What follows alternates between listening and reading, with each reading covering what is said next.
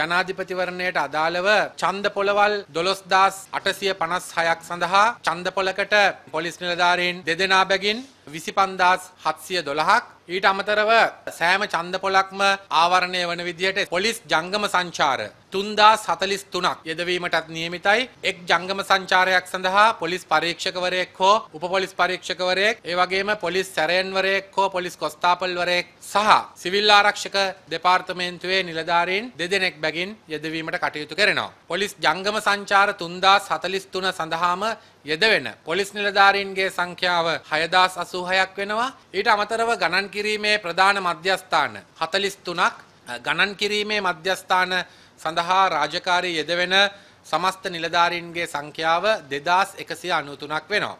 කැරලි මර්දන කණ්ඩායම් එකසිය පනස් තුනක් ස්ථානගත කරලා තිබෙනවා මේ වන විට දිවයිනේ සෑම ප්‍රධාන මාර්ගයක්ම ආවරණය වෙන්න මාර්ගබාධක රාජකාරී ස්ථාපිත කරලා තියෙන. මේ සියලුම රාජකාරී සඳහා මේ වන විට පොලිස් නිලධාරීන් හැටදාස් එකසිය හැත්ත පහක් මේ වන විටත් රාජකාරී යොදවලයි තිබෙන. ඊට අමතරව සිවිල් ආරක්ෂක බලකායේ නිලධාරීන් හා බටයින් අටදස් අසුවක් රාජකාරී යෙදවිලයි තිබෙන්නේ.